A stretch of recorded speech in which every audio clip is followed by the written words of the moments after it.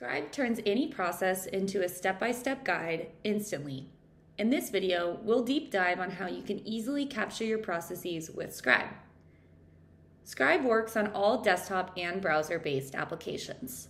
If the process you're looking to capture is all web-based, tools such as Salesforce, Zendesk, and G Suite, feel free to use our free Chrome, Edge, or Safari extensions.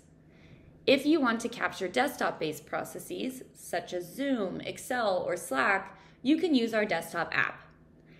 I'll first show you how to capture your process on the Chrome extension. To begin capturing your scribe, click the Chrome extension and select Start Recording. Notice that blinking red button. This is letting you know that the scribe recorder is on. Now, walk through your process as you normally would, and when you're done, select Complete Recording. Notice some of your other options on the on-screen controls. You can delete or pause your recording, or move the location of the controls.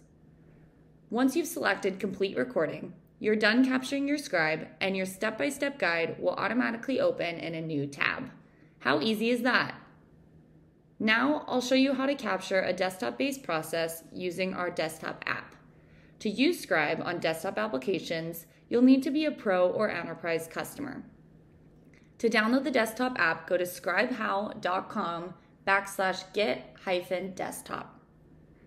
To begin capturing your scribe, select New and choose Full Desktop Recording.